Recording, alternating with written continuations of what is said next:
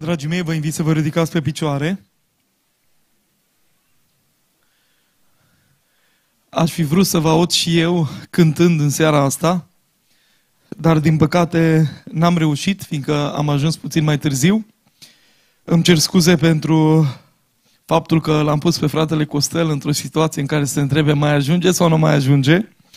Toți cei care organizează evenimente știu ce presiune se află pe umerii lor, N-am vrut să pricinuiesc lucrul ăsta, dar uh, parcările care sunt foarte generoase aici în zona dumneavoastră m-au pus în situația în care să aleg ce loc de parcare să aleg. Erau prea multe la dispoziție și se face că vreo 20 de minute a trebuit să mă tot învârt. Și sigur că până la urmă, datorită fratelui Zolti, am înțeles bine, am reușit să găsesc o parcare și iată că sunt aici în această zi. Sper cu mintea niciunul dintre dumneavoastră în timpul predicii mele să dați o col și din potrivă în această zi cu toții să ne lipim sufletul de Dumnezeu și gândurile noastre să fie adunate în jurul cuvântului lui Dumnezeu, cuvânt care schimbă, transformă, eliberează și dă direcție vieților noastre, cuvântul Domnului. Așa că vă invit, dacă aveți Biblia la dumneavoastră, să le deschideți la Evanghelia după Marcu de la capitolul 9,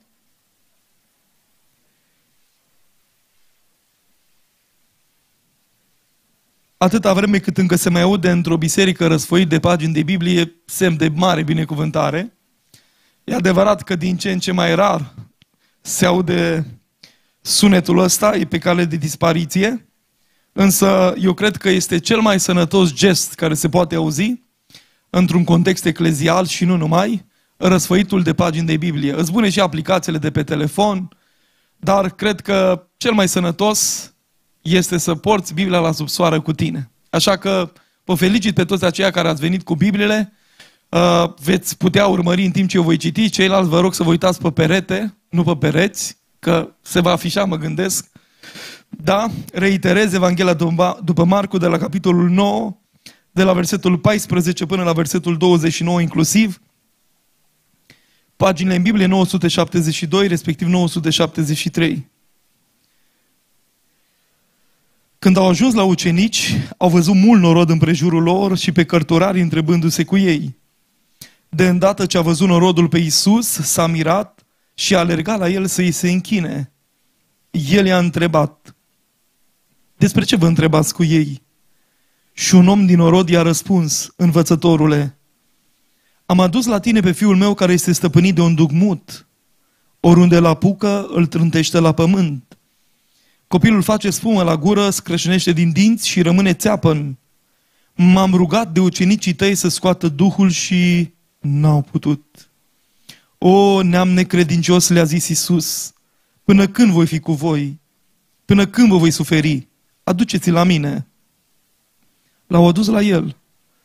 Și cum a văzut copilul pe Isus, Duhul a scuturat cu putere, copilul a căzut la pământ și se zvârcolea făcând spumă la gură. Iisus a întrebat pe tatălui, câtă vreme este de când îi vine așa? Din copilărie a răspuns el și de multe ori Duhul a aruncat când în foc, când în apă ca să-l omoare. Dar dacă poți face ceva, fieți milă de noi și ajută-ne. Iisus a răspuns, tu zici dacă poți. Toate lucrurile sunt cu putință celui ce crede. Îndată tatăl copilului a strigat cu lacrimi, cred, Doamne, ajută-ne credinței mele. Când a văzut Isus că norodul vine în fuga mare spre el, a mustrat Duhul necurat și a zis, Duc mut și surd îți poruncesc să ieși din copilul acesta și să nu mai intri în el. Și Duhul a ieșit țipând și scăturându-l cu mare putere. Copilul a rămas ca mort, așa că mulți ziceau, a murit. Dar Isus l-a apucat de mână și l-a ridicat și el s-a sculat în picioare. Când a intrat Isus în casă, ucenicii lui l-au întrebat deoparte, noi de ce n-am putut să scoatem Duhul acesta? Și iată ultimul verset. Acest soi de draci le-a zis Domnul Isus, nu poate ieși decât prin rugăciune și post. Amin. Până aici cuvântul Domnului, vă invit respectos să vă reocupați locurile.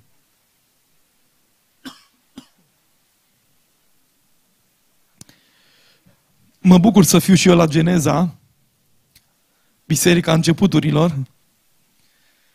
E adevărat în premieră în această zi și când cineva te invită pentru prima dată, își asumă un risc. S-ar putea să fie bine, s-ar putea să fie rău.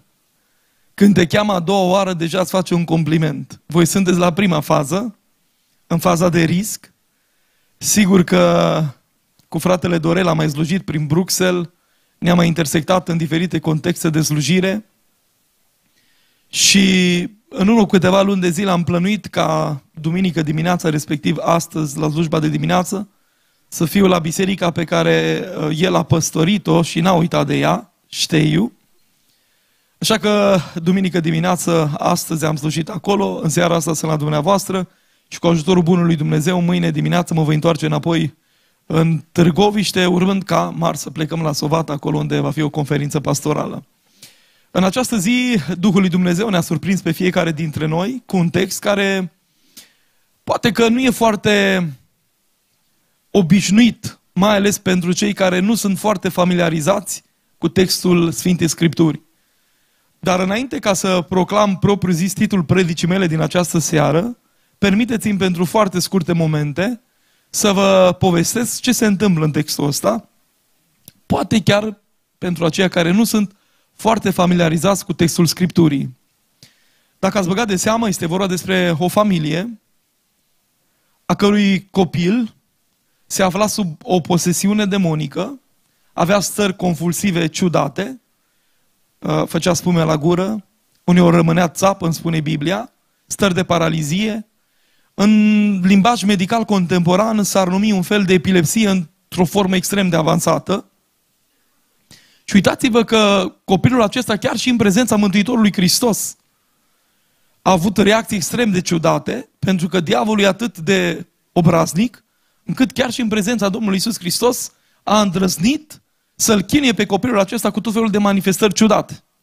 Sigur că cel mai probabil a alergat la medici, a alergat la preoți, a alergat la farisei vremii și toți aceștia și-au arătat neputința, a alergat la medici, la psihologi, ba chiar și la ucenicii Domnului Isus Hristos, care toată ziua au luat cu Domnul Isus Hristos, și ucenicii Domnului Iisus Hristos s-au ridicat din numeri reclamându-și neputința. Nu putem face absolut nimic pentru copilul tău. Și sigur că textul Bibliei surprinde cu momentul în care Iisus Hristos împreună cu ceilalți trei ucenici, Petru, Iacov și Ioan, coboară de pe muntele schimbării la față, respectiv muntele Tabor, și în vale era acea uh, dispută între farisei și tatăl copilului și ceilalți ucenici care discutau pe fondul acestei probleme nerezolvate. Și uitați-vă că, în general, certurile au apărut într-o biserică în momentul în care Dumnezeu nu mai lucrează. Pentru că fariseii au prins curaj să pună tot felul de întrebări și să-i așeze la colț pe ucenicii Domnului Isus Hristos. Știți când? În momentul în care i-au adus copilul și a zis rugați-vă pentru el și faceți ceva pentru el că se află într-o stare deplorabilă și ei n-au putut să facă nimic. Și în momentul în care ei și-au arătat neputința, s-au născut pe fondul acesta certuri, discuții, tot felul de dezbateri teologice. Pentru că așa se întâmplă când slava lui Dumnezeu nu mai coboară și răspunsul lui Dumnezeu întârzie în viețile noastre, încep dezbateri teologice, certuri în comitet și tot felul de frământări pentru simplu fapt că dacă nu mai lucrează Dumnezeu, trebuie cumva să umplăm spațiul gol cu multe alte preocupări, pentru că oricum Dumnezeu nu-și mai onorează de mult lucrarea. Și atunci, cam în contextul ăsta, Uh, se află tatăl acesta cu copilul, ucenicii Domnului Isus Hristos. Isus Hristos stă de vorbă cu ei, se atinge de acest copil, îl eliberează, îl vindecă și îl predă mai departe tatălui său, complet vindecat și eliberat de către Domnul. Slavă Domnului pentru asta! În schimb, în această zi, dragii mei, citind textul acesta, putem să observăm câteva aspecte extrem de importante. Și prima observație preliminară pe care aș face este aceasta că pe lângă realitatea materială, cea pe care o percepem cu ochiul liber și cu celelalte cinci simțuri cu care Dumnezeu a nobilat ființa umană, există concomitent cu această realitate materială, o realitate spirituală pe care nu o putem contesta nimeni dintre noi. Adică, pe lângă lumea aceasta materială pe care o vedem, o simțim, o percepem fiecare dintre noi, există o lume imaterială pe care nu o putem percepe cu ochiul liber decât atunci când sunt manifestări vizibile supranaturale. Și această lume imaterială, spirituală, este pe de o parte lumea lui Dumnezeu sau pe de altă parte lumea celui rău, lumea binelui sau lumea răului, lumea luminii, lumea întunericului, lumea lui Dumnezeu, lumea diavolului. Și așa se face că în textul ăsta Biblia uh, întrăsnește fără nicio urmă de sfială să dea cortina la o parte, să spună, știți care este de fapt problema copilul ăsta? El este chinuit de un duc necurat. Este stăpânit de diavolul.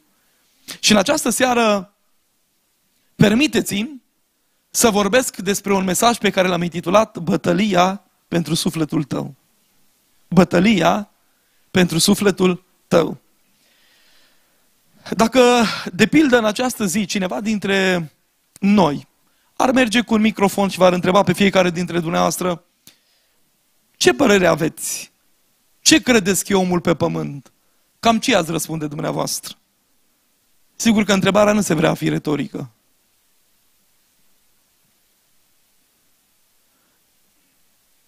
Ce ați răspunde? Ce este omul pe pământ? Ce ați răspunde? Nu, uite, încep cu de aici, că poate că v-am speriat prea tare. Voi ce ați zice rândul din dreapta mea? Dacă, de exemplu, aș veni și v-aș întreba, spuneți în două cuvinte, ce e omul pe pământ? Ce spune? În esență nimic, zice sora. Acum ați avut reprezentant care a fost portavocea voastră, acum rândul de la mijloc. Cine e reprezentantul grupului de la mijloc? Ce ați răspunde dumneavoastră?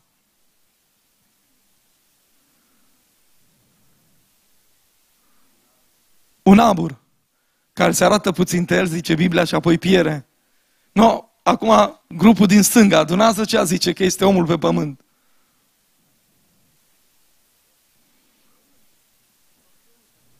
O frunză. Sigur că e o expresie metaforică, în sensul în care suntem efemeri, precum frânzele care sunt purtate de vânt. Acum, dragii mei, fără, mi-aduc aminte că eram undeva în Maramureș la un cămin cultural și am pus aceeași întrebare. Ce e omul pe pământ? E întrebarea care s-a auzit pe buzele filozofilor, teologici, teologilor, marilor oameni de știință, antropologilor, dar și a omului simplu de la țară, care măcar o dată în viața lui și-a pus întrebarea, mă, ce e omul pe pământ? Mai ales într-un context de dramă, când cineva drag pleacă dintre noi și părăsește această existență biologică și moare, cum zicem noi, ne punem în fața sicriului măcar o dată această întrebare, mă, ce e omul pe pământ? Și mi-aduc aminte o întrebare similară cu cea pe care am pus-o mai devreme. Am pus-o la un cămin cultural în Maramureș. Și mi-aduc aminte cu o stimată doamnă, de pe rândul 2, așa se exprima dânsa, părinte, pentru că venea din tradiția răsăriteană, omul e o nimica pe pământ. Ceva similar cu răspunsul tău. Și am spus acelei doamne, și când vă spune soțul asta, de ce vă supărați? Știți de ce ne supărăm? Pentru că noi chiar nu credem că suntem o nimica. Cele mai multe litigii și conflicte relaționale au apărut între noi în momentul în care am crezut că suntem cineva. E așa sau nu e așa? Nu de o grămadă de ori ne zice, mă, dar tu îți permis să vorbesc cu mine așa? Tu nu știi cine sunt eu? Și tu să spui, o nimica. Cu mine vorbești așa, zice. Cum adică să-ți permis să spui vorbele astea? Că sunt și eu cineva. Da, un abur care se arată puțin și apoi piere. Și dintr-o dată aceste definiții uneori alegem să nu le credem în, în realitatea practică de zi cu zi, decât în marile lozinci și definiții ale vieții noastre.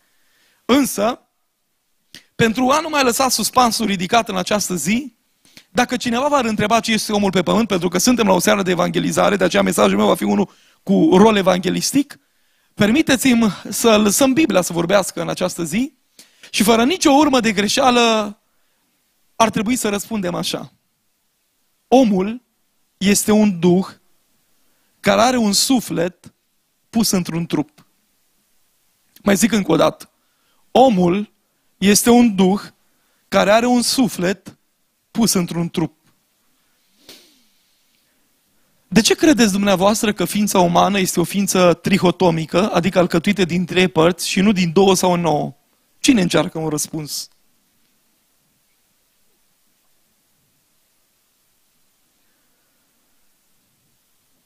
Așa toți bihorenii, cu minți și calm, că în trafic nu prea am văzut.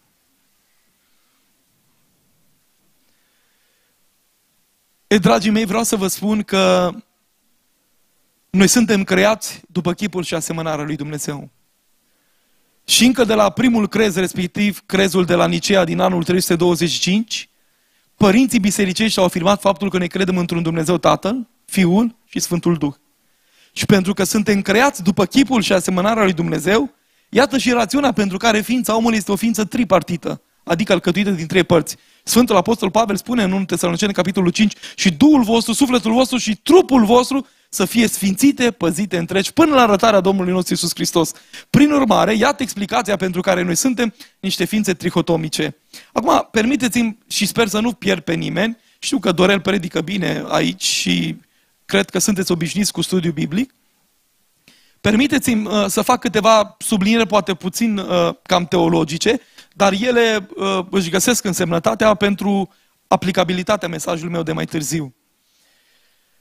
Ce este Duhul, ce este sufletul, ce este trupul? Trupul știm cu toții ce e. Carcasa asta exterioară, care e făcută din țărână, din pământ.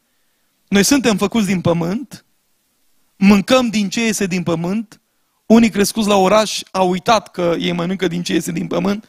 Cred că roșiile și castraveții le dă Kauflandul sau supermarketul, când de fapt, uitați-vă că tot ce se circumscrie zonei materiale se leagă, se leagă de pământ. Am fost făcuți din pământ, mâncăm din ce este din pământ, iubim lucrurile de pe pământ, ca într-o zi tot la 2 metri sub pământ să ajungem. Și trupul ăsta, într-o zi, se va descompune și se va face una cu pământul și, în esență, trupul e un nimic, nu? Care se descompune, se face una cu pământul și uitați-vă că la câteva zile după ce noi amândoi vom muri, nu mai contează că ai fost doctor în teologie, profesor universitar, savant sau simplu om. Va conta un singur lucru. Dacă sufletul tău ți l-ai asigurat pentru Dumnezeu sau nu. Pentru că atunci când omul moare, ce înseamnă că omul moare? Duhul și sufletul lui se despart de trup. Trupul, spuneam că se duce în țărână, că din țărână a fost făcut și în țărână se va duce, și este o lege pe care nimeni dintre noi nu o putem desfința niciodată. Și spun eu deseori, vom coborâ cu toții în dormitorul tăcerii fără de ferestre, la doi metri sub pământ, pe strada egalității, unde vor ajunge și săracii și bogații, și intelectualii și agramați. Fiecare om. Când omul moare, adică Duhul și sufletul se despart de trup, Duhul se duce la Dumnezeu care l-a dat, iar sufletul dumneata nu se pulverizează, nu se anihilează și nici nu se reîncarnează. Sufletul va merge la una din două adrese, raiul sau iadul. Matei, capitolul 16, spune Mântuitorul Hristos foarte pilduitor în direcția aceasta. Și ce ar folosi un om să câștige? Ziceți dumneavoastră. Toată lumea, dacă? Dacă și-ar pierde sufletul. Sau ce-ar da un om în schimb pentru sufletul său? Adică nu să ai un milion de euro sau o sută de milioane de euro. Nu să ai banii lui Bill Gates sau lui Rockefeller sau uh, eu mai știu al lui Elon Musk. Să ai toate bogățiile lumii. Toate bogățiile lumii nu pot fi comparate cu importanța și valoarea sufletului dumneata. Acum înțelegi dumneata de ce toată bătălia aceasta se dă pentru suflet? Pentru că sufletul este cel mai valoros. De ce? Pentru că este veșnic. Așa că n-au dreptate oamenii care spun că sufletul se va anihila, N-au dreptate oamenii care spun că sufletul se va pulveriza undeva în aer și va transcende niște succesiuni de universul, până la urmă se va contopi cu universul. N-au dreptate oamenii care predică reîncarnarea sufletului în diferite ființe, notabile sau mai puțin notabile, superioare în funcție de karmă și de cum a trăit în preexistența acela care uh, a trăit într-un corp străin și a avut sufletul incorporat în el. Însă sufletul veșnic va merge în rai sau în iad, prieteni. De aceea în această zi vreau să vă spun că e atât de important la ceasul acesta să ne gândim la destinația sufletului nostru. Mai ales într-un context în care războiul a început în Ucraina cu doi ani, ieri a început în Israel și perspectiva morții e mai aproape de noi decât oricând altcândva.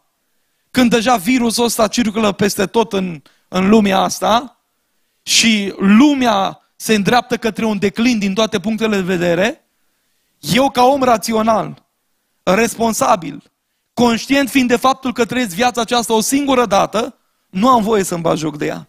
că dacă aveam mai multe vieți, puteam să-mi bag joc de viața asta, că o recuperam pe ulterioara. Dar viața asta o trăiești o singură dată și trebuie să o trăiești într-un mod responsabil.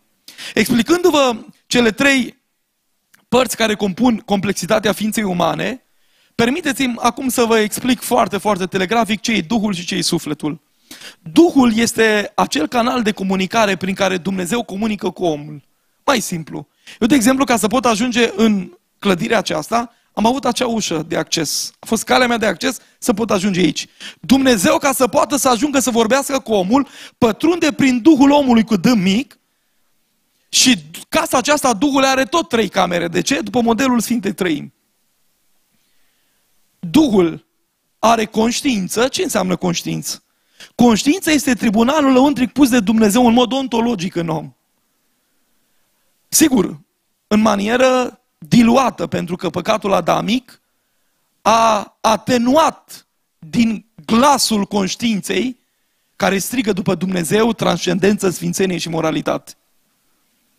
Însă, orice om de pe fața pământului, din peste 120 de miliarde aproximativ, cât a existat vreodată pe fața pământului de la Adam până astăzi, cele 8 miliarde și jumătate cât suntem actualmente pe fața pământului, în orice om, când apare în existența aceasta biologică, există o lege morală naturală cu care în mod ființial Dumnezeu ne-a înzestrat. Și această lege morală naturală se numește conștiința noastră. N-ați văzut pruncii dumneavoastră, care aveți, care nu, Doamne ajută. Amin. Puteați, da, ați ratat faza.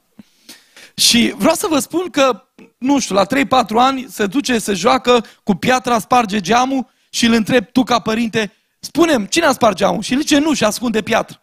Cine l-a învățat că e rău să spargi geamul vecinului? Nimeni. Nu le-a dus la niciun curs de morală creștină, de etică sau de ontologie profesională.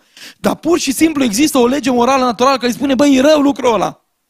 Și într-o dată îl vezi că pitește piatra, se rușinează. Uitați-vă la oameni. Omul se simte vinovat când spune prima minciună, psihologic vorbind. Ce se întâmplă când spui prima minciună? Ziceți voi. Păi nu te uiți în ochii omului, stai cu capul în jos, te înroșești, îți crapă vorba românului obrazul de rușine și când ai spus prima minciună, vezi că ești foarte șifonat. Dar după ce ai spus a o mia minciună, nici testul poligraf nu te mai recunoaște. Ce s-a întâmplat între timp cu omul? Conștiința a început să adoarmă. Și Sfântul Apostol Pavel vorbește despre oameni a căror cuget a murit de mult. Omul se simte vinovat când bagă prima țigană în gură, când fumează două pachete de țigări pe zi, se simte cool deja. Omul se simte vinovat când face primul rău, dar după ce răul lui devine mod de viață, îi se pare normal să se laude cu mojicia unor fapte păcătoase, ticăloase și abjecte. De aceea vreau să vă spun în această zi, dragii mei, faptul că această primă cameră a casei Duhului este conștiință. În fața conștiinței nu ai decât două posibilități. Fie să asculți de mesajul conștiinței care spune nu-i bine să furi, nu-i bine să minți, nu-i bine să-ți înșeli partenerul de viață, nu-i bine să faci fapte rele, fie să omori vocea conștiinței și în fiecare zi a vieții tale să trăiești în modul tău păcătos de a fi. Și în momentul în care, de pildă, vocea conștiinței îți transmite mesajul moralității și tu în practica vieții prin faptele tale trăiești într-un mod contradictoriu mesajului conștiinței, și ce se întâmplă în mod indubitabil în ființa dumneata? Ceea ce se numește în psihologie conflictul interior. Ce înseamnă conflictul interior? Nu ești certat cu nimeni, ești certat doar cu tine însuți sau însăți. Nervos, te deranjează orice, inclusiv predica mea din seara asta, agitat, tulburat. Ce s-a întâmplat cu tine? S-a mutat patul din loc? Ți-au micșorat ăștia salariul? Nu. Dar pur și simplu e un conflict permanent în sufletul tău pentru că tu sfidezi vocea conștiinței tale. Ți-au spus oamenii că cea mai bună pernă e perna de la Ikea cu memorie în ea, din aia Dormeo? În parte au avut dreptate. Cea mai bună pernă e o conștiință curată. Când știi că te pui noaptea cu capul pe pernă și n-ai mustrări de conștiință, e cea mai mare bucurie. Și dacă vrei să știi care este secretul fericirii în viață, este să nu faci nimic contradictoriu conștiinței tale luminate de Duhul Sfânt. De aceea, dragii mei, din punctul acesta de vedere, mă rog ca Dumnezeu să ne ajute să nu omorâm conștiința noi. Sigur că Duhul mai are și intuiție, e acea capacitate supranaturală pe care Dumnezeu a pus-o în noi, care în momentele limită ne ajută să ieșim din impas. Dumnezeu ce, ce intuiție am avut, cum am evitat accidentul. Și vreau să știți că, da, surorile au o capacitate intuitivă, sau doamnele, mult mai dezvoltată decât a bărbatului. Și să face că nevastă mea zice, du-te și adum delicatul din raftul 3 sus, dreapta. Nu-l găsesc. Bă, dar ele au un spirit, de o grămadă de ori mi-a zis, bă, nu intra în relație cu ăla, că la noi prea, nu-mi pușcă mie bine, cum ziceți voi. Ce ceva rău acolo. Ăla nu-i om de încredere. Lasă nevastă că nu știi tu. Bă, și a avut dreptate. Mai sunt din ăștia? Pur și simplu o intuiție pe care nu o putem explica. Sau, de pildă, în fine, nu mai intru în detalii. Și, în sfârșit, a treia cameră a casei Duhului este comuniunea. Ce înseamnă comuniunea? Acea sete după transcendent, după rugăciune, după Dumnezeu. În orice cultură te duce în lumea asta, că mergi în Europa, că mergi în Africa, în Asia, există o sete după ceva mai mult decât ființa umană limitată. Și oamenii se încheie la Dumnezeu, la Allah, la zeități, la tot felul de idoli, pentru că, de fapt, există o căutare intrinsecă în ființa omului după ceva mai mult. Este setea după liturgic, după închinare. Vedeți, dragii mei, și mai rămâne sufletul. Sufletul, la rândul lui, are și el tot trei camere. Rațiune, sentimente și voință. Și vreau să vă atrag atenția asupra faptului, eu încă n-am început să predic, asta e doar partea de introducere. Deci, turnăm fundația și începem ușor, ușor zidurile predicii.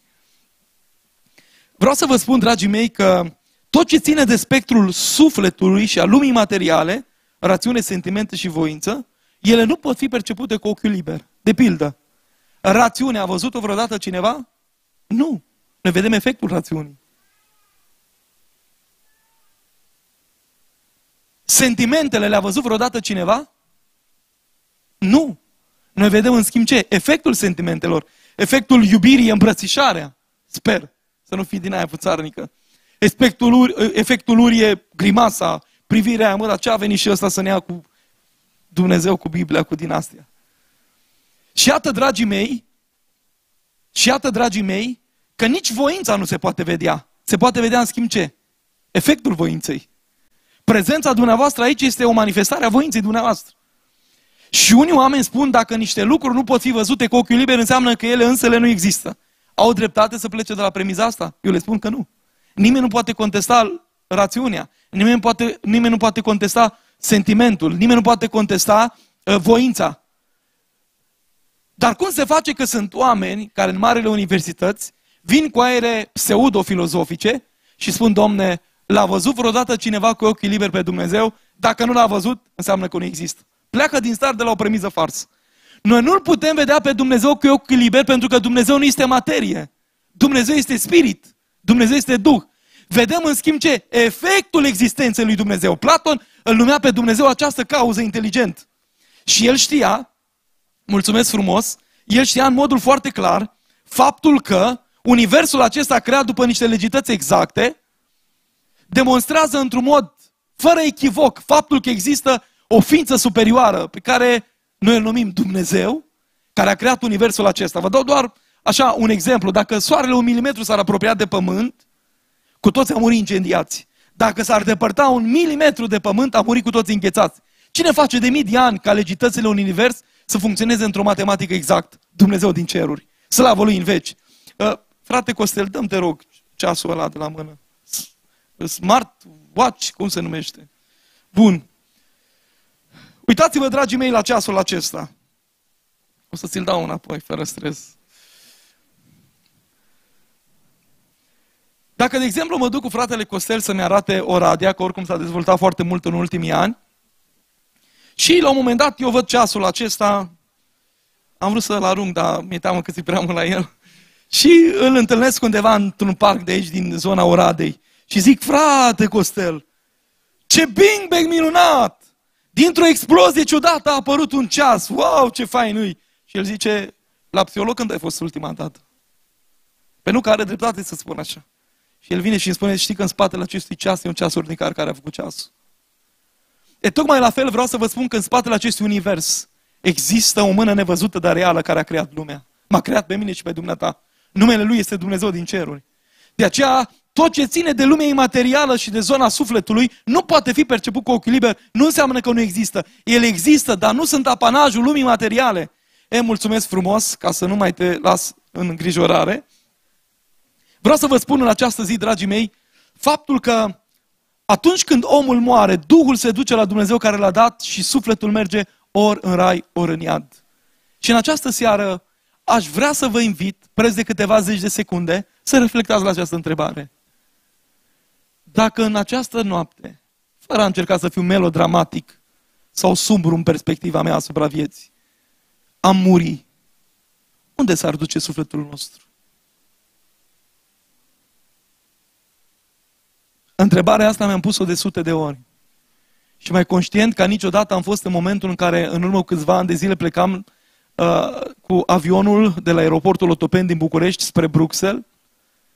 Și în momentul acela, la o jumătate de oră de la decolare, pilotul ne anunță că avionul a intrat în coliziune cu o pasăre, s-a făcut o gaură de peste 40 cm în botul avionului și spunea judec, uh, uh, pilotul, zice, ne teamă ca nu cumva să fie ajuns și la motor. Și zice, dar voi să nu vă speriați că facem tot ce este posibil ca să ajungem la destinație, să ne întoarcem în Dărăt, în, în București. Sigur că în momentul acela eram, uh, s-a întâmplat să fiu cu cumnatul meu, care pe vremea aceea lucra ca uh, șef de service și îmi spunea el, băi, eu îți invidiez viața ta de evanghelist. Te plimbi peste tot în Europa, în toate țările. Și zice, așa e fain viața ta. Și îi zic, băi, ia vină o săptămână cu mine să vezi că nu o să mai fie chiar așa. Că slujirea nu înseamnă doar microfon și restaurant ulterior slujbei. Înseamnă cu mult mai mult de atât. Înseamnă să conduci vreo șapte-opt ore dus, vreo șapte-opt ore întors. Înseamnă că azi noapte să fie ajuns la 12 și ceva la pensiune. La pensiune să fie frig. Să ai un copil de trei ani și jumătate care la 4 dimineața să-ți vomite, să nu dormi toată noaptea, să te duci duminică dimineața la știi și să zâmbești frumos ca și cum nimic nu s-ar fi întâmplat, cu durere de cap, obosit, după ce ai condus șapte-opt ore, să te oprești 15 minute pe dreapta, să-ți dai două palme, să, să te poți trezi că s-ar putea să-ți pui în pericol viața ta, familia ta, plus luptele spirituale care sunt, sănătate dată peste cap, orar ciudat, dorel și care fac lucrarea lui Dumnezeu, știți despre ce vorbesc eu acum. Dar ascultați-mă bine. Uh, în momentul ăla am observat că oamenii într-o dată au început să se roage, au descoperit rugăciuni, făceau semnul cruci, toți disperați. Eu în vremea aceea publicam un articol pentru pentru un program de studii și imediat am închis cartea aceea și mi-am pus o întrebare, cred că pentru a doua oară în viața mea. Doamne, dacă în clipa asta robul tău moare, mi-am dat seama că toată viața mea care era aglomerată cu foarte multe activități, de fapt se reduce la două întrebări. Unu, dacă în clipa asta eu când mor, mai există vreun păcat care m-ar putea despărți pe mine de tine? A fost prima întrebare. Iar a doua întrebare care a stârnit îngrijorarea a fost ce va fi cu familia mea, cu soția mea e din zona Moldovei, din Iași, eu sunt din Târgoviște, la o oră de București, și am zis, ea n-are pe nimeni acolo, cum se va descurca, cum va fi? Acestea au fost doar două întrebări pe care le-am pus. Și mă rugam, mi-am pus capul între palme și am spus, oare robul tău să plece și să se facă una cu pământul în felul ăsta? Și mă rugam așteptând ca Dumnezeu să intervină. Vreau să vă spun că la o jumătate de oră de la docalare ne-am întors, am aterizat în București, trebuie să așteptăm alte câteva ore pentru că avionul nu mai era funcțional, să luăm un alt avion. Dar pentru a doua oară în viața mea am dat seama de perspectiva faptului că moartea e mai aproape de noi decât atunci când am crezut. Vorba unuia din poeții noștri români, Coșbuc. Din zei de am fi scoboritori, cu moarte, toți suntem datori. Iar Eminescu cea nu credeam să învăț a muri vreodată și a murit tânăr. La 30 și câți, puțin de ani, 39 parmi se. S-a născut în 1850 și cred că în 89, 1889 uh, a murit. Și iată, dragii mei, că viața este extrem de imprevizibilă și efemeră. Și perspectiva morții e mult mai aproape de noi. Dar ascultați-mă bine. În această zi vreau împreună să devenim conștienți, în lumina cuvântului pe care l-am citit, de faptul că toate bătăliile care se dau în lumea asta nevăzută sunt de fapt pentru sufletul nostru. De ce? Și fiți atenți. În momentul în care Dumnezeu transmite mesajul omului, îl transmite prin intermediul Duhului. Duhul, când aude mesajul de la Dumnezeu, printr-o predică, printr-o cântare, ce se întâmplă prima dată? Conștiința care a fost adormită de păcat se trezește. Și spune, bă, ăștia nu sunt chiar niște desuieți perimați, rupți de realitate. Au dreptate. Eu până mai ieri mă lăudam că la cincea albă de Bergambir nu m-am făcut magmur. Eu până mai ieri mă, mă lăudam cu mojicea unor fapte păcătoase. Și dintr-o dată simți un sentiment de rușinare, conștiința se trezește și începi să gândești într-un mod diferit. Știi ce se întâmplă de fapt? Pocăința. Ce înseamnă pocăința? Metanoia, schimbarea minții. Se trezește în mine conștiința și spun, bă, da, eu mă lăudam cu înjurăturile, cu minciuna, cu faptele de corupție și îmi dau seama că astea sunt ticăloșii și ți-e rușine de păcatul tău. N-ați observat cu oamenii care s-au întâlnit cu Dumnezeu dacă mai ieri să lăudau că ei fumează două pachete de țigări pe zi, că l-au păgubit pe ăla, că l-au înșelat pe ăla, în momentul în care se întâlnesc cu Dumnezeu, mi-aduc aminte, acum câțiva ani, 2-3 ani de zile s-a întors un bărbat la Dumnezeu și mi-a spus, printre altele, la, la, la cursul de cateheză, îmi spune, frate Timotei, mi-aduc aminte că număr nu știu cât, vreo 10 ani de zile am păgubit pe un om căruia i-am cerut împrumut nu știu câte mii de euro și m-am făcut că am uitat. Dar acum că m-am întâlnit cu Dumnezeu, zice, mi-am adus aminte că în urmă cu mulți ani de zile, eu n-am remis datoria omului care trebuia să-i o dau mai departe. Și a pus mâna pe telefon și îl sună, ăsta era prin Suceava. Alo, zice, îți mai aduce aminte de mine? Bă, da, zice, mi-aduc aminte de tine. Știi că acum mulți ani eu aveam o datorie la tine? Ce bă, nu mai știu exact, dar dacă e vorba de luat, parcă, știi? Nu, zice, știu exact și suma. Și zice, te rog, trimite-mi un număr de cont să-ți trimit, nu știu, era vorba de câteva mii de euro. Și omul s-a dus fără să-i spun eu. I-a spus Duhul lui Dumnezeu care a atins viața și a trezit conștiința. Pentru că asta înseamnă întâlnirea cu Dumnezeu. Dacă nu se produce schimbarea asta, te întâlni cu o religie, cu un cult, cu o denominațiune confesională, dar nu cu Dumnezeul cel adevărat.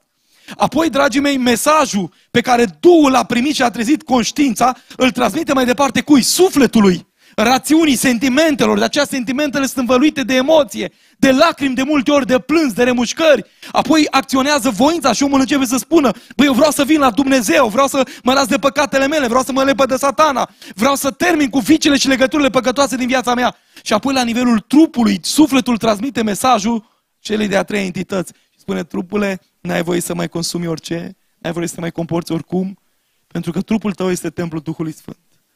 Ați văzut cum se produce schimbarea?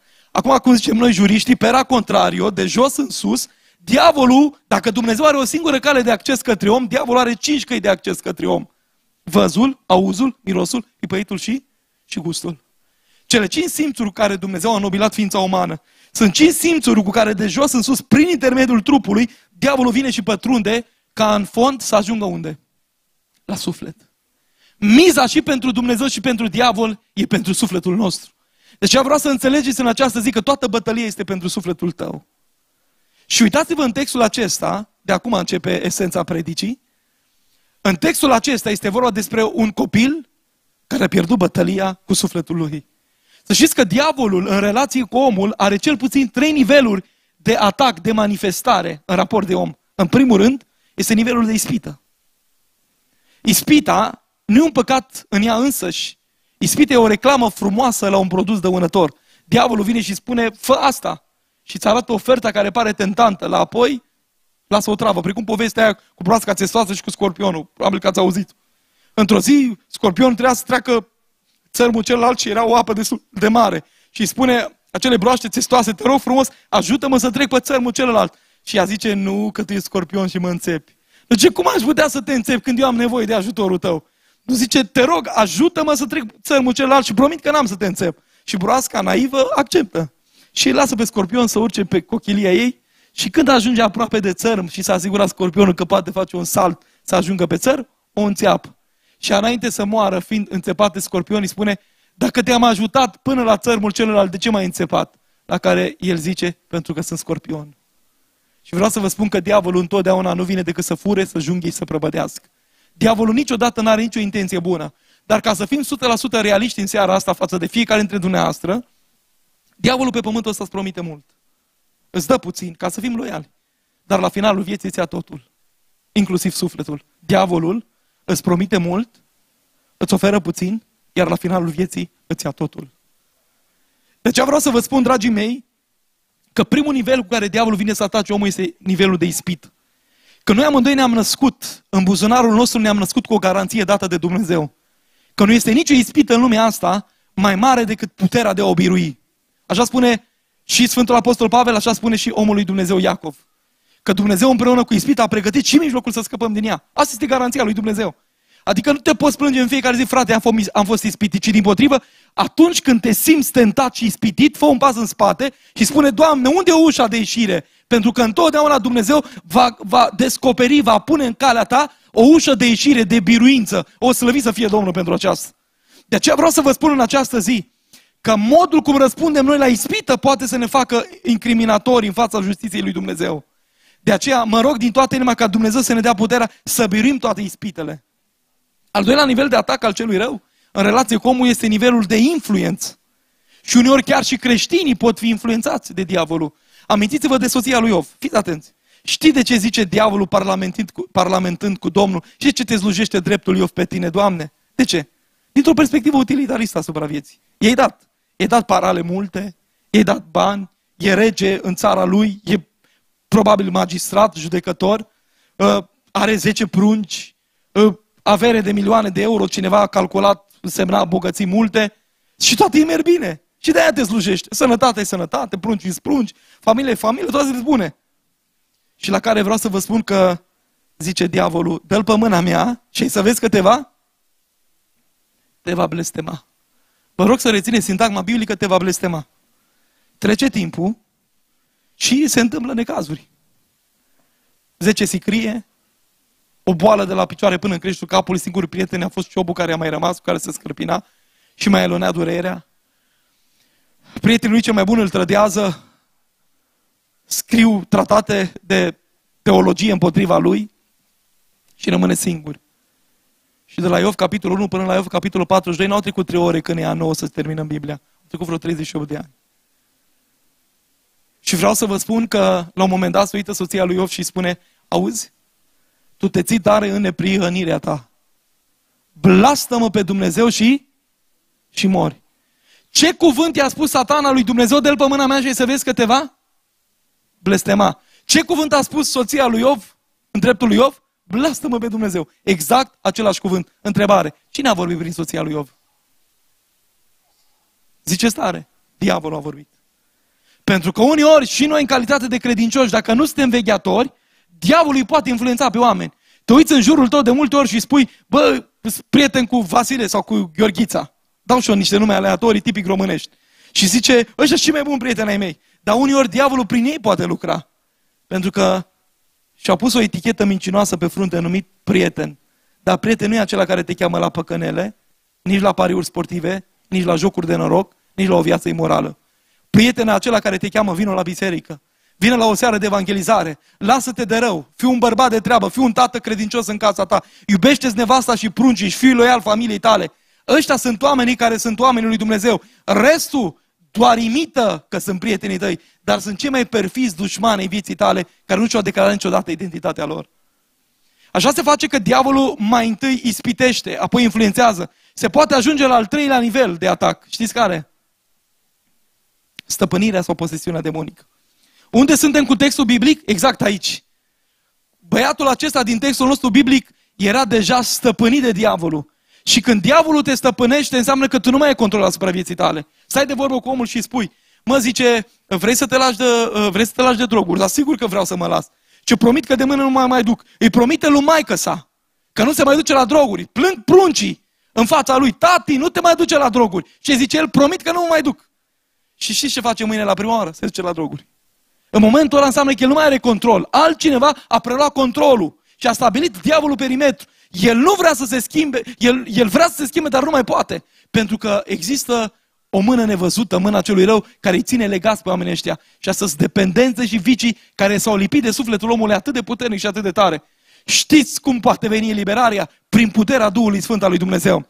Mi-aduc aminte, în urmă câțiva ani de zile, eram la evangelizare în Franța, iar la finalul slujbei m-a oprit un domn la vreo 30 ceva de ani și mi-a spus, frate Timotei, dumneata în această zi ne vorbit despre puterea unui Dumnezeu care poate elibera. Și eu zic, da, slăvit să fie Domnul. Și zice, vreau doar câteva minute să stai de vorbă cu mine. Și mă duce într-o anexă a bisericii respective, într-o cameră, uh, și îmi zice, uite, hai să spun povestea mea, eu de 8 ani de zile mă droghez. Zice, am început, măcar că știam despre Dumnezeu și vin într-o familie de credincioși, am dat de bani și asta prin Franța, pe acolo, pe acolo și am ajuns să mă droghez. Uh, am copii de 4, 5, 6 anișori și noaptea când vin de la cluburi de noapte, soția plânge la ușă și îmi spune, cum ai putut să ajungi în halul ăsta? Tu nu vezi că ai copii? Ce să învețe copiii ăștia de la tine? Își certuri, frate, îmi muși pe perna de durere cu lacrimi de multe ori. Mă duc, vin noaptea de la discotecă, îmi scui plămânii, vomit. Uh, uh, promit că nu mă mai duc la fapte de rușine Și diavolul mereu și mereu mă leagă și nu mai pot, pur și simplu, zice, nu mai rezist. Și auziți ce zice el? Dacă Dumnezeu anul acesta nu mă eliberează, promit că într-o zi o să-mi pun ștreangul de gât. Pentru că nu mai rezist. Știi ce înseamnă, frate, să nu mai suporți persoana pe care o vezi în oglindă?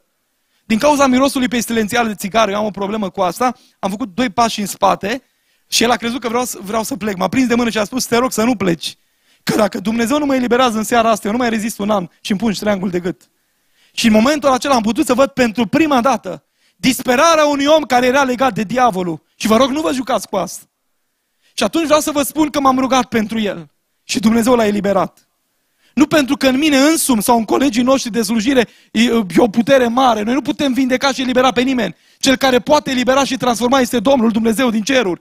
Cel ce poate aduce eliberarea a fost, este și rămâne Duhul Sfânt al lui Dumnezeu, slăvit să fie Domnul pentru asta. Pentru că asta spune Biblia, ceea ce a pus Dumnezeu în voi, adică pe Duhul Sfânt, este mai mare decât ce este în lumea aceasta. Și m-am rugat pentru el. Astăzi este în biserică, este un familist convins, luptă pentru familie și îi mulțumesc lui Dumnezeu pentru că Dumnezeu l-a transformat și l-a eliberat. Glorificat să fie Domnul pentru asta. Dar vreau să vă spun, dragii mei, faptul că diavolul leagă pe oameni, îi prinde și când ajung să fie stăpâniți, pur și simplu ei nu mai găsesc poteca de ieșire din labirintul încurcat în care diavolul i-a băgat. Și uitați-vă la povestea din seara asta. E vorba despre un copil legat de diavolul. Și diavolul nu avea nicio milă. Și numai mamă sau tată să nu fi în situația aceea, să-ți poți vedea copilul care era chinuit, ce a aruncat când în foc să fie incendiat și sigur omorât, când în apă să fie necat și sigur omorât. Și imaginați-vă, e 12 noaptea. E 1 noapte. Ți-ai pus copilul la somn. Te duci cu nevasta obosit după o zi de muncă să dormi. Vă puneți în pat să dormiți și dintr-o dată nevasta sare din pat cu spiritul ei observatorii că întotdeauna mai dezvoltat decât a bărbatului și începe să strige, hei, trezește-te, n-auzi ce? Pruncu zice, ce cu pruncu? Pruncu în foc, uite, diavolul a pus să arunce în foc. În altă noapte, trezește-te, e patru dimineața, pruncu în apă, uite să-ți bate între viață și moartă. Stări convulsive, stări de paralizie. Ce viață trebuie să mai fie aceea? Ce familie trebuie să fie aceea? Ce inimă trebuie să ai dumneata ca mamă? Când îți vezi copilul zdrobit și chiunit de diavol în fiecare zi, că dacă ai putea să-i vinde un rinic, numai să știi că pruncul tău e bine. Ce viață să mai fie aceea? Când o stimată doamnă acum trei săptămâni, cu, milio- cu sute de mii de euro în buzunar, cu mașini de ultimul model, mă oprește acum trei săptămâni undeva dintr-o țară din Europa, nu mai dau detalii, și îmi spune, domnule pastor, eu zilele trecute am vrut să-mi pun capă zilele, bărbatul meu a plecat după alta, mi-a lăsat cu patru copii, cel mai mic, trei anișori. Și ce devastată de durere, nu mai știu ce să fac. Zilele trecute când l-am văzut cu ce inimă rece a plecat din casa mea și mi-a trătit ușa în nas într-un act de nebunie. Am luat cuțitul și mi-am tăiat vene de la mână. N-am vrut să mai aud de Dumnezeu și de biserică. Dar cineva din important care lucrează pe la Parlamentul dintr-o țară din Europa mi-a zis, bă, vină la o seară de evangelizare, vină un predicator din România, vină că poate Dumnezeu are un mesaj pentru tine. Și la insistențele ei am venit să așezat pe ultimul rând. Am putut să văd. Tot mesajul a fost pentru ea. Pentru că Duhul Sfânt vorbește într-un mod matematic și Duhul Sfânt știe să vorbească potrivit nevoii omului. Și în momentul acela la chemare, ea este prima care este în față. Puteam să-mi dau seama după ea că are o condiție materială foarte bogată, după vestimentați. Și îmi spune printre altele, o întreb, tu de ce ai venit în față? Și îmi ridică, îmi ridică mâneca de la roche și îmi spune, pastore, uite-te că zilele trecute mi-am tăiat venele. Și am zis că eu nu mai vreau să trăiesc. Și am vrut să mă dau pe mâna celui rău și să-mi distrug viața. Și zic, bă, dar nu te gândi la copii, cel mai mic copil de trei anișori. Eu nu știu ce să mai fac copilului meu când plec două, trei zile prin evangelizări, îți fârteca de durere. Cum ți-ai imaginat asta? Deci nu știu, pur și simplu, diavolul mi-a luat mințile.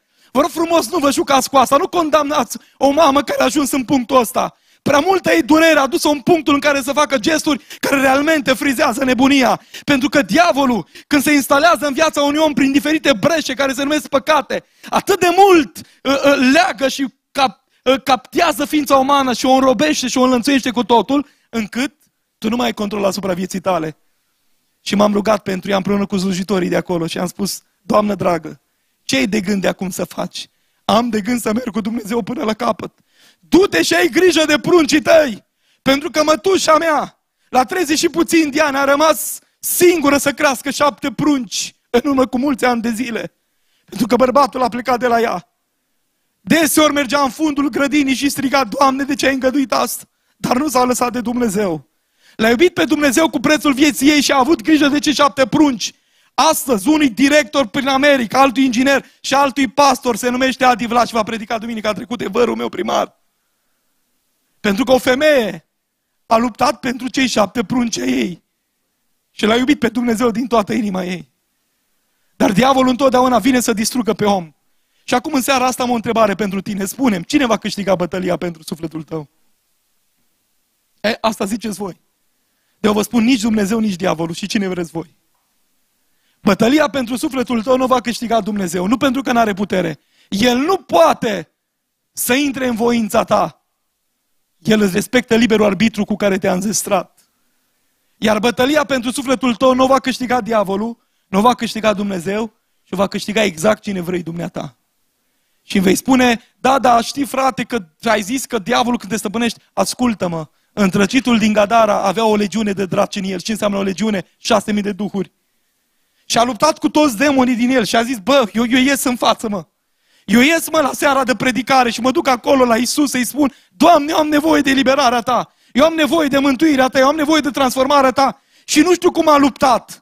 Dar pur și simplu a luptat cu toți demonii din el și voința s-a activat în el și a zis, eu mă duc să mă întâlnesc cu Isus. Și Isus Hristos l-a eliberat, și-a dat minte în cap, l-a îmbrăcat, n-a mai umblat prin cimitire. Primul lucru pe care l-a făcut întrăcitul din Gadara, știți care a fost? Să se ducă acasă la ei lui, că și-a adus aminte că are niște ai lui acasă. Eram la Bruxelles anul trecut, s-au adunat foarte mulți oameni acolo, în jur de o mie de oameni. S-au bucurit foarte mulți oameni în seara aia, printre care un tânăr, care de 4-5 ani de zile își, abandonează, își abandonase soția și copilul. Și l-am întrebat, ă, ce vei face de acum încolo? Și au zis ce îmi zice, primul lucru când voi ajunge acasă în seara asta, îmi voi suna soția pe care de ani de zile n-am mai sunat-o, să vină cu copilul înapoi în țară, să fiu un bărbat și să am grijă de ei. Pentru că dacă diavolul desboaie, dacă diavolul distruge demnitatea omului, Dumnezeu este acela care nobălează și te îmbracă cu valori și virtuții sfinte. Slăvit să fie Domnul în veci. Și uitați-vă, dragii mei, că în textul acesta, tatăl a făcut trei lucruri ca să câștige bătălia pentru sufletul copilului lui. Știți, un credincios de-al nostru avea un obicei. La final de săptămână, el avea doi câini, unul alb și unul negru. Și deseori ieșea cu ei în piață și așa își spărgea monotonia, cum zicem noi. Ieșea în piață și zicea, bă, cine crezi va câștiga lupta dintre acești doi câini? Câinele alb sau câinele negru? Unii ceau într-un fel, alții într-un alt fel, la care stăpânul zice, nu, no, vă spun eu cine va câștiga lupta. Câinele alb.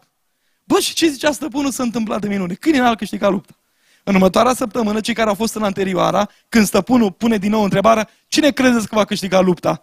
Z- ziceau ăștia, nu, amu știm noi, câinele alb. Nu, zice stăpânul, câinele negru. Bă, și câinele negru câștiga lupta. Că să face o dată așa, o dată invers. Și tu nu dai niciun rateu. La care stăpânul zice, așa pe un ton ușor persiflant, nu, mă, oameni buni, eu mi stăpânul acestor doi câini. Și auziți acum, când vreau să câștige lupta câinele negru, Toată săptămâna îi dau de mâncare câinelui negru și pe la alb îl ține mâncat. Când vreau să câștige lupta câinele alb, toată săptămâna îi dau de mâncare câinelui alb și pe la negru îl ține mâncat. Amu, ați înțeles dumneavoastră cine va câștiga bătălia în sufletul dumneavoastră? Ce alimentăm în noi în fiecare zi.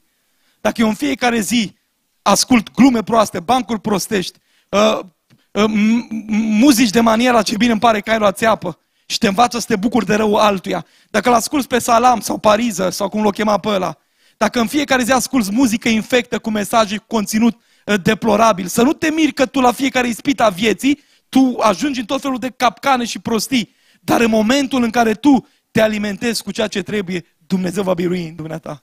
Și sufletul dumneata va ajunge să găsească libertatea și pacea. Slăvit să fie Domnul. Așa că tatăl a făcut trei lucruri. Foarte telegrafic. Primul pas.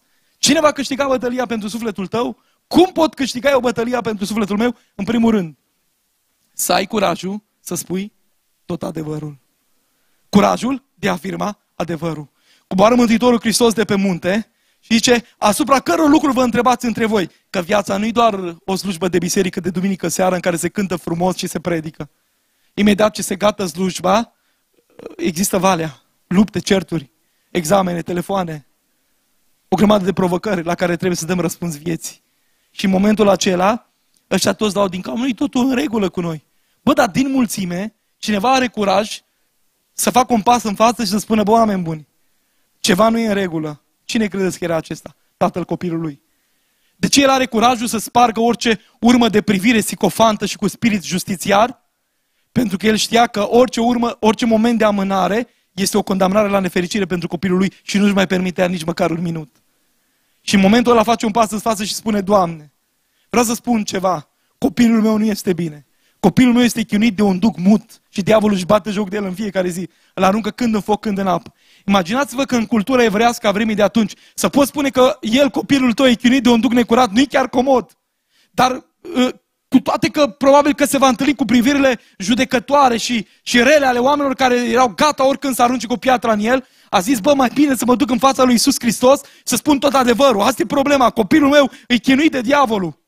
Ar fi putut să folosească o expresie eufemistică. Copilul meu are o adicție, cum folosim noi de multe ori. Domnule, ce nu mai, nu mai zice că e, e, e legătură demonică de, de țigară, că e curvar, că e alcoolic. Nu mai zi așa. Zi, domnule, care are diferite adicții, folosește eufemismul. Folosește metafora. Și eu îi spun, omule bun, ascultă-mă, oricum le-am numit noi, tot demon se numesc.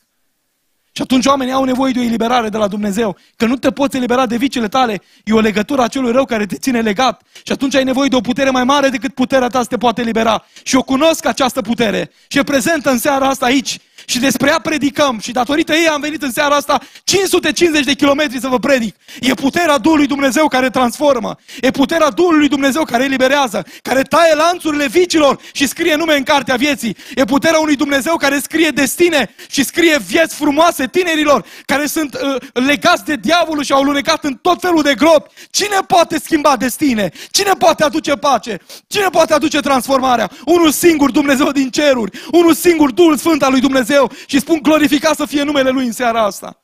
De aceea, dragii mei, dacă vreți să vină eliberarea, să câștigați bătălia pentru sufletul vostru, n-are rost să vă mințiți, n-are rost să vă ascundeți în fiecare zi în spatele unor declarații festiviste și care sună frumos, dar care n-au niciun fel de acoperire practică. Cum ești, frate? Bine! Și numai tu știi că noaptea trecută ai plâns. Numai, știi, numai tu știi de câte ori te-ai prins cu mâinile de păr și ai spus, nu mai suport viața asta a mea. Aș vrea o schimbare. E Dumnezeul care te-a auzit în mijlocul nopții când spuneai, aș vrea o schimbare. Și ai încercat cu autosugestie, și ai încercat cu psihologia pozitivă, și ai încercat cu gândurile tale bune, bă, o să fiu de treabă. Și tu că o să pun eu în funcțiune voința mea, bă, n-ai reușit. E 2023, e târziu, prieteni. Și încă de ani de zile te lupți să te schimbi și n-ai reușit. În seara asta vino și spune adevărul. N-are niciun rost să te ascunzi. N-are niciun rost să fugi de El. El e Dumnezeul care te-a ținut în viață. El este Dumnezeul care ți-a purtat de grijă. El este Dumnezeul care te-a dus aici. E Dumnezeul care a ridicat o biserică aici în cartierul ăsta. Exact pentru sufletul tău. Te rog în seara asta, nu spune că e întâmplare. Nu spune că e o coincidență. Pentru că întâmplare e pseudonimul lui Dumnezeu. Când nu vrea să semneze faptul că eu sunt în seara asta aici. Faptul că în seara asta e o slujbă de evanghelie evangelizare. Faptul că sufletul tău a fost adus aici e un plan pregătit de Dumnezeu prin care vrea să-ți facă o invitație discretă. Vino să-ți mântuie sufletul. Vino să primești pace în suflet. Vino să fie liberat de păcatele tale. Vino și spune lui Dumnezeu, miluiește-mă pe mine păcătosul sau păcătoasa. Sfințește viața mea. Dezleagă-mă de legăturile vicilor mele și dăm pacea de care am nevoie. Glorifica să fie numele Domnului în veci. Asta trebuie să se întâmple, dragii mei.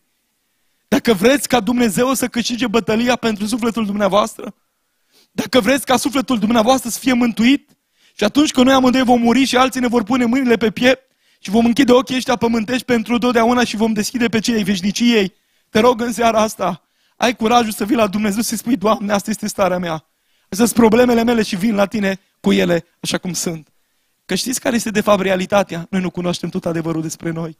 Că nici tatăl n-a cunoscut tot adevărul despre pruncul lui. Că a zis, pruncul meu e chinuit de un duc mut.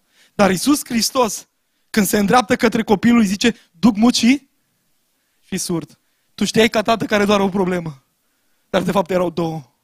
Că Morial nu cunoști toate problemele despre viața dumneata. Dar cel ce le cunoaște este Dumnezeu. Tu trebuie doar să faci primul față în seara, să spui, Doamne, nu înțeleg prea multe despre Tine, nu te cunosc, n-am citit Biblia, dar știu că există undeva în cerul și n-am murit până astăzi, că puteam muri strivit ca, ca, ca un vierme în accidente de mașină.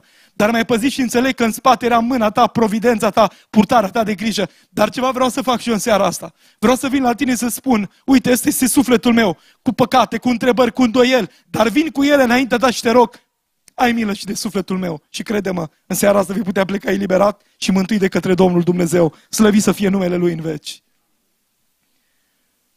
În al doilea rând, ca să câștigi bătălia pentru sufletul tău, Și probabil că în următoarele două, trei minute o să invit la pian pentru că vom vrea să pregătim o cântare. Sper că nu dau programul peste cap aici. Fratele Costel mi-a spus că am libertate de plină. Nu? Acum lăsăm libertate lui Dumnezeu. Și vreau să vă spun, dragii mei, că Tatăl acesta, după ce intră în dialog cu Domnul Isus Hristos, că dumneata de asta ai nevoie de un dialog cu Domnul Isus Hristos, pe care poate nu l-ai avut niciodată, în care să spui adevărul despre problema ta, mulțumesc frumos, Iisus Hristos se uită în ochii acelui tată și pune o întrebare. Auzi? De câtă vreme îi vine starea de rău? Acum vă pun o întrebare. Credeți că Domnul Iisus Hristos în omnisciența sa, adică în atot cunoașterea sa, știa de câtă vreme venea starea de rău copilului? Categoric da. Dar am zic și eu, de ce credeți dumneavoastră că Domnul Iisus Hristos îi pune întrebarea de câtă vreme vine starea asta de rău? Știți de ce? Pentru că întrebarea Domnului Iisus Hristos era o lecție de terapie sufletească, prin care voia să-l invite la o analiză retrospectivă a vieții lui, în care el însuși să-și dea răspunsul când exact s-a întâmplat nenorocirea. Bă, și îmi amintesc că mi-l imaginez pe acest tată că în momentul în care stătea în fața Domnului Isus Hristos, face o analiză undeva pe potecile rațiunii și zice, bă, bă, chiar așa, când s-a întâmplat toată nenorocirea asta? Și zice, din copilărie. Când? Din copilărie. Ce se întâmplase de fapt? Nu știu exact. Dar cel mai probabil, după firul narrativ al textului biblic, înțeleg că era o zi sau o noapte în care el, ca tată și preot în casa lui, a uitat că trebuie să fie preot și om al lui Dumnezeu. Și a zis, nu mă vede Dumnezeu, nu mă vede nevasta, a scos pachetul de Malboro, a luat paharul de Bergambir, a trăit în fapte imorale, nu știe exact ce s-a întâmplat cu el. Și în momentul acela și și-a zis Dumnezeu, ai crezut că nu te văd? Ce iubești tu cel mai mult? Pruncul meu, nu acolo am să lovesc. Nu pentru că nu te iubesc, ci pentru că te iubesc mai mult. Că există o variantă mai rea decât să te lovea, să încădie Dumnezeu un necas peste tine, prin care subliminal să transmită un mesaj, mergi într-un rongui al vieții tale. Necazul să te lase în voia minții tale blestemate să nu mai aibă nicio treabă cu tine. Și tu să mergi spre iad cu pași repezi. Și nimeni să nu-ți mai semnaleze aceasta, nici măcar conștiința ta. Și în momentul acela Dumnezeu îngăduie în dreptul copilului un necaz.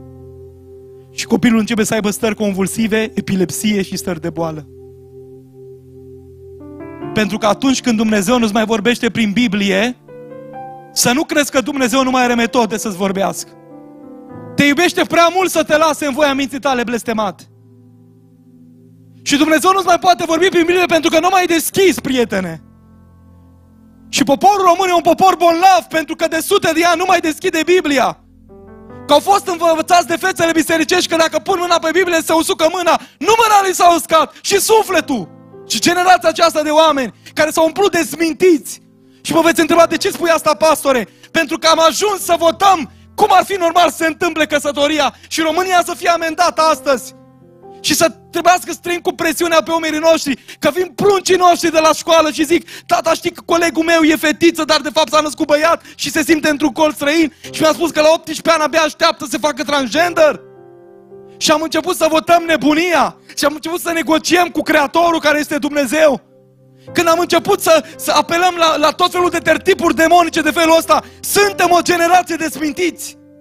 Suntem o generație de smintiți pentru că nu mai căutăm pe Dumnezeu și nu mai deschidem Biblia. Suntem o generație care ne-am îndepărtat de Dumnezeu pentru că am pus Dumnezeul nostru banul și mamona. Și din 3 milioane de copii, un milion în România cresc în familii disfuncționale. Pentru că am crezut că dacă ai, au bani, pruncii noștri au de toate. Și au plecat românii noștri prin Belgia, prin Italia, prin Spania, prin Anglia. Și s-au mulțumit că pruncilor lor le-au pus doar parale, doar bani și tablete și iPhone-uri. Ei, dar pruncii sunt un univers de sentimente, au nevoie de tine ca mamă. Ei au nevoie de tine ca tat. Cine poate auzi sufletul copiilor noștri? care au nevoie de o mamă și un tată. Pentru că lunile trecute veneam de la Londra și cum am ieșit din biserica aceea, mă oprește o doamnă și îmi spune, frate Timotei, aveți două minute să stăm de vorbă? Și zic, sigur că da. Și spune, vezi pruncul ăsta de 4-5 ani? Și zic, sigur că da. Zice, ăsta la altul din, din mâna mea de un anișori tot copilul meu. Anul trecut, pastore, zice, când eu m-am dus în sala de maternitate între moarte și viață să-mi nasc pruncul ăsta, am primit un telefon ciudat. Bărbatul meu a plecat de la mine după alta. Bă, și m-am uitat la copiii a doi, niște îngeri de copii. Nu mai puteam să-mi iau privirea de la ei. Și a trecut de atunci un an de zile. Și bărbatul ăsta de un an de zile nici măcar o dată n-a venit să vadă cum arată pruncul lui. Pentru că între timp în viața lui a apărut o alta. Și în ziua în care am început să ne împărțim pruncii precum bunurile patrimoniale, mașina de spălat cu tata, microondele cu tata, așa am făcut din pruncii noștri. Suntem o generație dezmintiți. E o carte celebră care se numește Mami, tati, mă auziți? E strigătul disperat al copiilor care în ultimii 30 de ani au crescut fără mamă și tat. Puteți măsura ce durere poate să fie în inima acestor copii? Mai fă și eu niște pițipoance pe la televizor cu tocuri înalte și minte scurtă. Și le vezi, zice, eu sunt la a patra căsătorie. Și o spun serios. Da, zice. Și pot îndrăzni și în a cincea și vin să-mi dea lecții de parenting și despre familie. Și nu îmi vine acolo să mă duc la televizorul ăla și îi spun, bă, femeie, unde e pruncul tău? Și cel mai probabil pruncii crescuți de bunică, de mătușă, de cineva. De acel copil care plânge noaptea la patru dimineața și își mușcă perna de durere cu lacrimi și spune, bă, unde e mama? Unde e tata? Cine are urechi pentru ei? Că între timp Dumnezeul nostru e banul și plăcerile animalice, că n-am văzut animale să-și abandoneze puii. Dar cunosc o grămadă de bărbați care pentru o plăcere de o clipă, animați de un instinct animalic și abandonat pruncii și se întreabă, bă, unde e tata, unde e mama? O, ascultați-mă bine în seara asta. Bărbatul ăsta din pildă a trebuit să dea un răspuns din textul nostru biblic și știți ce a zis el? Oh, știu acum, din copilărie, era legată cu fapta mea reprobabilă pe care am făcut-o. Și de fapt, a doua lecție se constituie în următoarea. Învață să-ți asumi vinovăția. Pe lângă afirmarea adevărului, asumarea vinovăției. N-are rost să dai vina pe colegul de facultate, de muncă, de serviciu. Nu trebuie să dai vina pe mama, pe tata că nu ți-a dat suficientă educație spirituală. Seara asta trebuie să spui vina mea. Cât tare inteligentă e Biblia când spune în Matei 16, dacă și-ar pierde sufletul. Și acolo e un pronume reflexiv care arată că responsabilitatea grevează pe umerii tăi. Poți da vina pe alții pentru pierderea sufletului tău. Deci gata în seara asta să vii să spui, Doamne, sunt aici să-mi asum vinovăția păcatului meu și să cer iertare. Să spun că eu sunt de vină și am nevoie de harul tău. Și ultimul lucru. Dacă vreți ca Dumnezeu să câștige bătălia pentru sufletul dumneavoastră, al treilea pas este acesta. Alimentează-te cu Dumnezeu în fiecare zi. Iisus Hristos stă de vorbă cu acest bărbat și printre altele îi zice așa, tu zici dacă poți. Toate lucrurile sunt cu putință celui ce crede.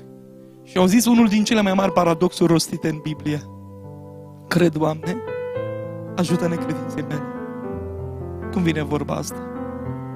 Ca și cum eu zic, sunt la Geneza Oradia, dar nu sunt la Geneza Oradia. Bă, ori ești, ori niști. Știți cum am înțeles eu paradoxul ăsta? Când s-a uitat spre privirea caldă a Domnului Iisus Hristos, a zis, cred, Doamne. Că și dumneata, când stai în prezența Domnului și auzi muzică de închinare și se citește din Biblie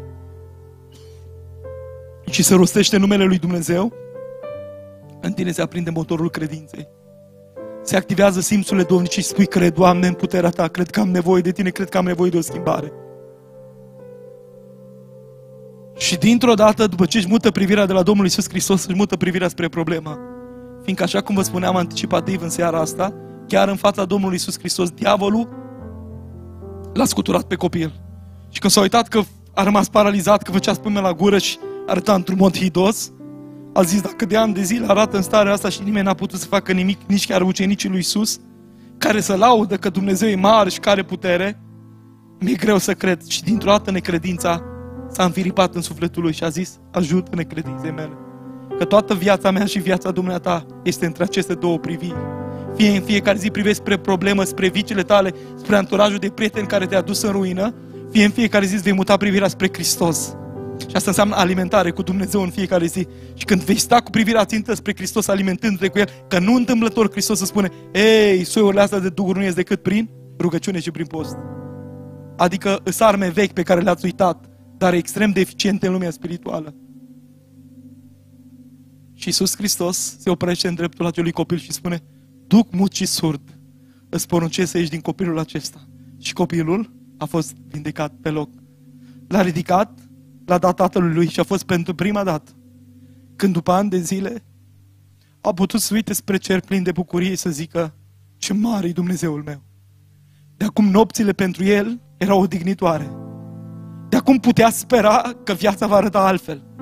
Putea să-și facă planuri de concediu. Putea să se bucure de fiecare zi. Pentru că copilul lui nu mai era aruncat în foc și în apă. Soția putea să aibă încredere în el, soțul în soție. Pruncii se puteau bucura de copii. Nu ca cei prunci care au spus tatălui său, tati, afară de ziua în care îmi sărbătoresc ziua de naștere, poți să găsești și o zi pace și liniște în familia voastră. Că în rest, nu văd decât uși strântite, farfuriți sparte și înjurături. Cel mai bun mod de a spune copilor dumneavoastră că îi iubiți este ca între soț și soție să fie pace. Și când e pace și iubire, acolo e grădina Edenului. Acolo e raiul lui Dumnezeu. N-a avut nicio șansă de viață. Cel mai probabil bărbatul ăsta, după ani de zile de alergări, de căutări, și uitați-vă că nu întâmplător nu o văd pe mamă în textul ăsta. Știți de ce? Pentru că cel mai probabil nu era vina ei. Dar tatăl aleargă disperat pentru că știa că era problema lui. Și atunci a zis, dacă eu am făcut rana, eu trebuie să mă ocup de soluționarea ei. Și a alergat disperat ca să-și amorțească glasul conștiinței care îl condamna în fiecare zi. Disperat să rezolve problema. Nu știu dacă se mai aștepta că va putea apărea vreo minune în viața lui. Nu știu dacă mai spera la schimbare și că viața lui poate să însemne pace. Că poate dormi noaptea pe perna lui fără diazepam și fără somnifere. Dar vreau să spun că întâlnirea cu Hristos te scapă de psiholog, te scapă de condamnările conștiinței, te scapă de, de rănile și de uh, uh, uh, toate durerile produse de păcat. Găsești pacea și fericirea în sufletul tău și Dumnezeu îți dă demnitate, fericire, împlinire. Nu știu unde ești în seara asta, dar ascultă-mă bine, omule. Dacă ai străbătut bulevard, bulevardele păcatului și ai băut din apele otrăvite ale lumii și diavolul ți-a otrăvit sufletul în seara asta, vreau să știi că e șansa ta. E șansa să vii la cel ce te poate primi. El nu respinge pe nimeni. Poate că ești cu țigările în buzunar, cu gânduri negre în mintea ta. Poate că ai o conștiință care te apasă pentru amintirea a ceea ce ai făcut ieri, săptămâna trecută sau anul trecut, în seara asta. Vestea bună este că Dumnezeu te poate libera și pe tine.